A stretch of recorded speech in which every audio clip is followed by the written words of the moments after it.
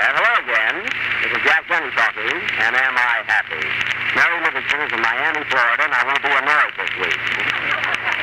and I just got back from my hometown where I celebrated my birthday.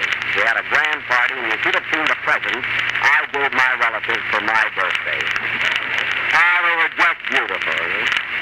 Were you Jack? Oh, I go into that. You know, a man is as old as he looks.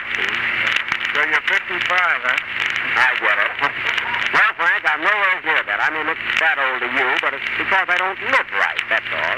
What do you mean you don't live right? Well, I go to bed at 9 o'clock on weekdays, and I don't drink or smoke or go to nightclubs, and I don't see bad company. Oh, what's wrong with that? Yeah, well, you don't call that living right, do you? Say, uh, say, Jack, you know my grandfather took care of himself just like you're doing, and, and he lived to be 103. What for? That was good? I don't know. I don't know, but the poor fellow's gone now. Oh, that's too bad, Frankie. How did it happen? Well, when he was 98, he started running around, and it just got him, that's all.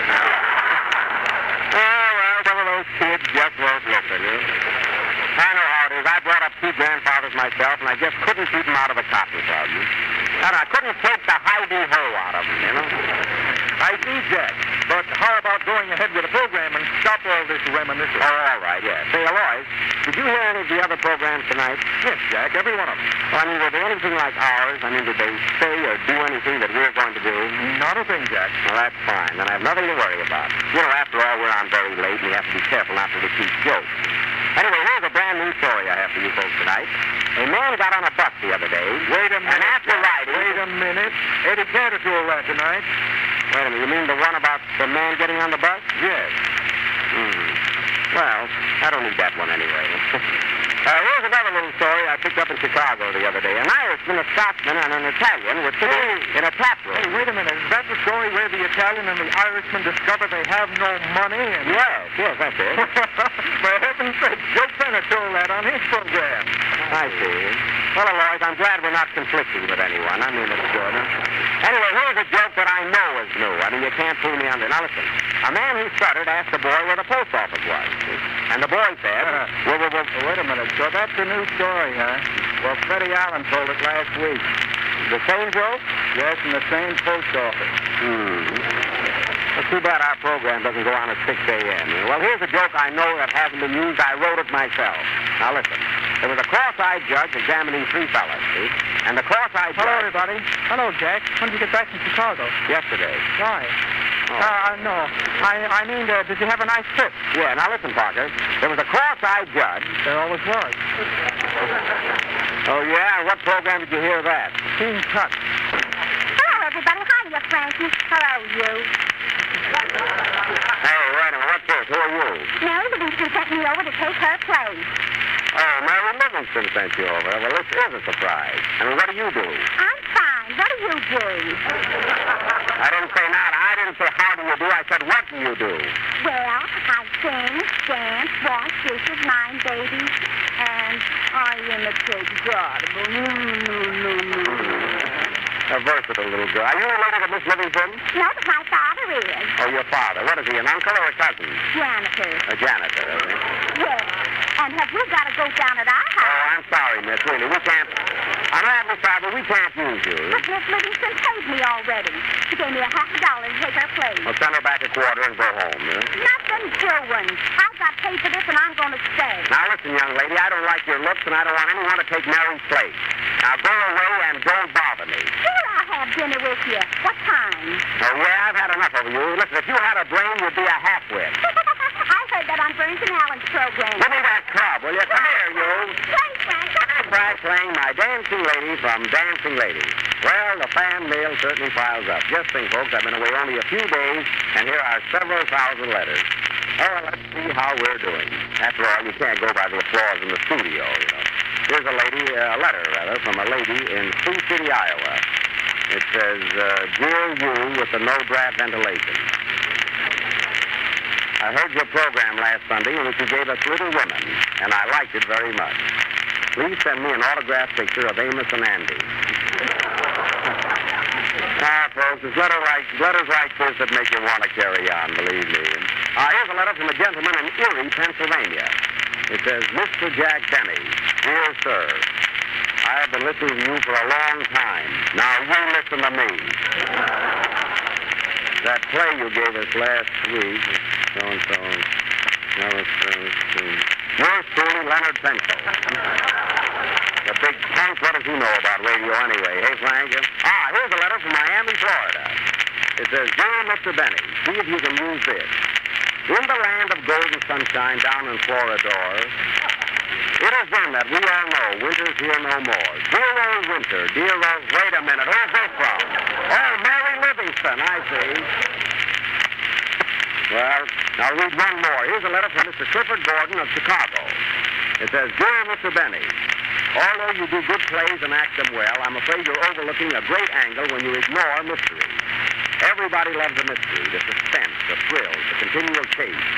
All right, Mr. Gordon, we get it. Anticipating your letter, we fortunately have been rehearsing a mystery play all week, and we will put it on tonight for your pleasure. It is called The Green Room Murder by S.S. Van East. And here is the mystery. A man was murdered on the de la 8th Avenue and 45th Street near the Merlin Rouge Laundry. Now, who was this man? Where did he come from? Why was he murdered? And who done it? Jack, Jack, you know your English is very bad. Well, so is this play. I will play the part of the mastermind, the great detective. Yes, Adela, for the advertising. And now, while we are setting the stage, Frank Parker, our mysterious tenor, will sing You're in My Heart. Are you ready, Parker? Yes, Jack. And sing.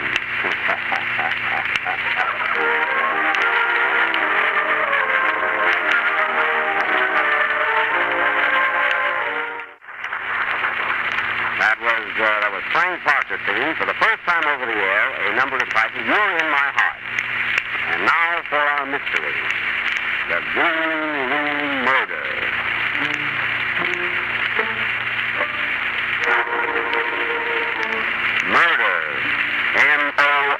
The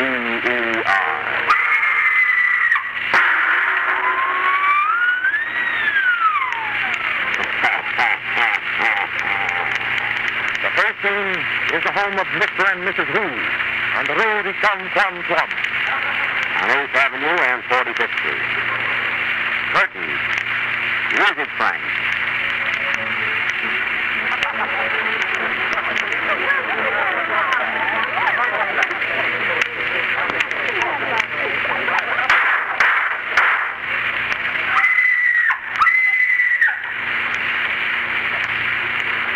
Hmm. Good. Nobody this room. A man has been murdered. You can't hold it on, Joey.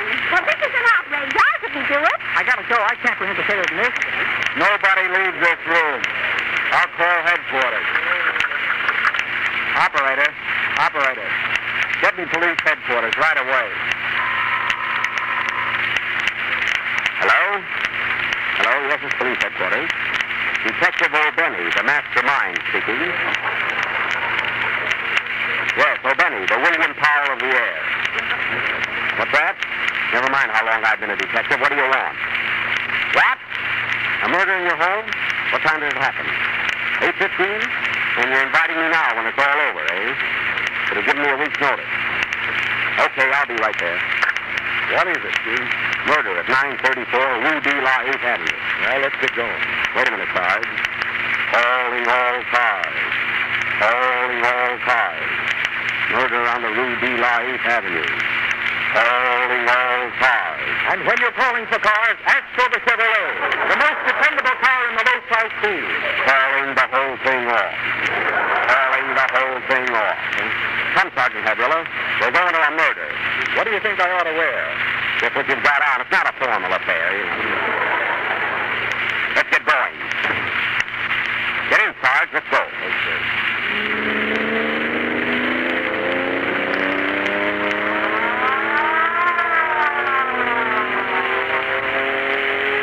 Come on, Sarge. Step on it. I'm going 80 now. I mean, step on my cigar butt. I just dropped it. Oh, oh, oh. Slow up. Here comes the traffic cop. Hey, you two mobs. Pull over. Where's the fire? In your eyes? oh, yeah? Well, I heard that on the Rudy Vallee program. For heaven's sake, can I get a new joke in somewhere? You know you fellas was going 80 miles an hour? Well, everybody knows that's easy for the 1934 Chevrolet. Quiet, Sarge. I've got a good mind to give you the ticket. You know, there are two of us. We'd like to see the Ziegfeld Follies. Wait a minute. Wait a minute. Who are you anyway? Detective O'Benny, the mastermind. And you? Sergeant Havrilla, the new action wheels. Oh, yeah? Well, look me over, boys. I'm Napoleon. I heard that on Baron Munchausen's program. Well, Sam, Hey! Hey, wait a minute. Where's the stuff I heard on Will Rogers' program? step out of here, brother.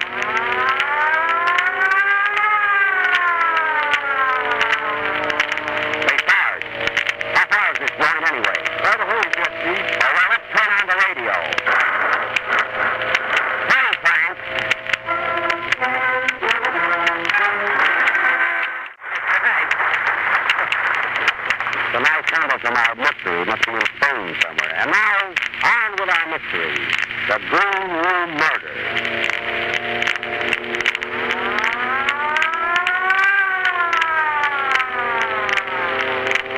I think this is the place, Sarge. Okay, Chief.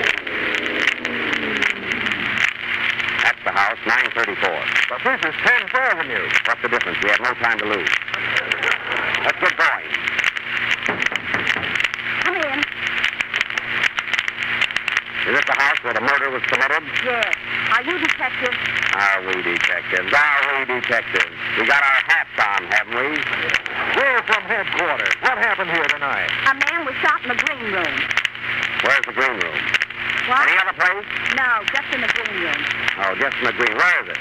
One flight up. Don't go in the blue room. They're having a party in there. You know who fired the gun? No, but the boss fired the cook, and I expect to be fired in the morning. Now we're getting someplace. Make a note of that, Sarge. Okay, Chief. Come on, young lady. We'll need you. Let's go upstairs. Wait a minute. I guess this is it. Open that door. Open that door, I say. Oh, you won't do it, eh? Well, I will break it in. Come on, Sarge. Give it the word.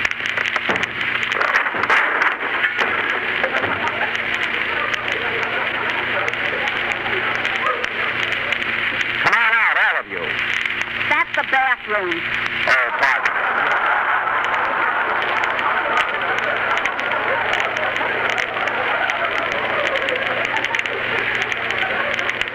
Why didn't you tell us that was the bathroom?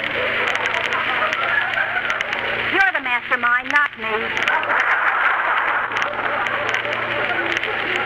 Oh, a fresh game, eh? Well, where is it? It's that room over there. Come on, Sarge, and don't lose sight of the maid.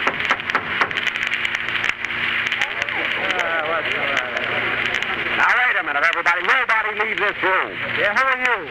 Detective O'Benny, the mastermind. Sarge, you watch the door and see that nobody leaves. Okay, Chief. And guard that rat hole. Oh, you don't want to get away either. Quiet. Did anybody know the dead man? I did. He was a friend of mine. Yeah, who are you? Well, this is my apartment. We were playing bridge here tonight. How many of you were playing? Well, there were nine of us. You see, we were all sitting at the table. Now, wait a minute, wait a minute. Nine playing bridge? You sure it wasn't baseball? No, we have no umpire. Oh, you have no umpire, eh?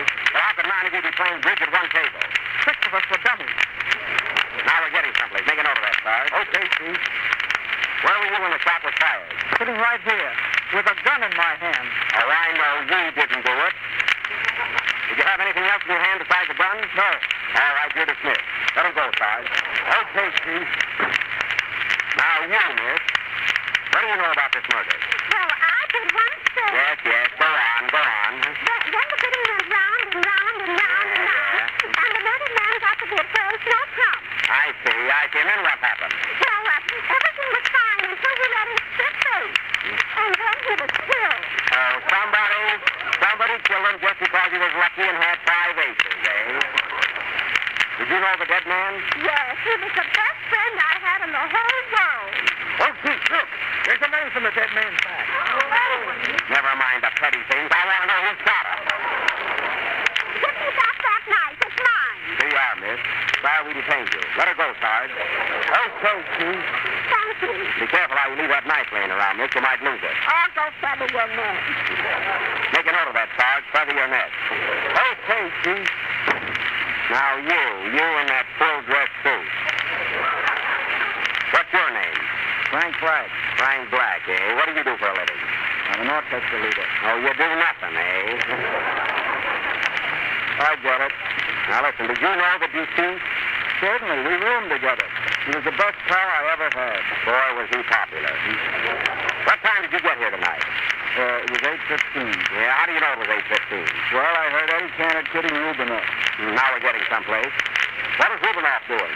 He was playing Mendelssohn's Wedding March. Oh, yeah? Sarge, get Mendelssohn on the phone. Okay, Chief. Oh. Hello, Mendel? I want to speak to your son. Hello. Is this Mendelssohn? Yes, yes, yes. Oh, you did? Okay, goodbye. What do you say, Sarge? He says he heard that on Phil Baker's program. Now we're getting some someplace. Here's that is. Be a knock on the door. That's, that's it. Um, Telegram, Detective O'Benny. Telegram, give it to me. Hmm, Miami, Florida. Ask Mendelssohn if he knows the one about the ghost. Try Mary Livingstone. Any answer, sir? No. Hey, the telegram is correct. 76 cents. Let him out, Sarge. Okay, Chief. Now, where were we? Oh, yes. Now you, Frank Black. Hmm? What do you want? Say, Chief, look. There's a rope around the dead man's neck. Oh, yeah? Hey, Black, you know anything about this rope? Sure, it's mine. Give it to me. I want to try up some music. Give him the rope, Sarge. All right, you can go, Black. I'm sorry this murder happened inside of your rope. Thanks. We'll solve this mystery yet. Now I want to speak to the maid again. Yes, sir. Now listen here, young lady. I want to ask you a few questions.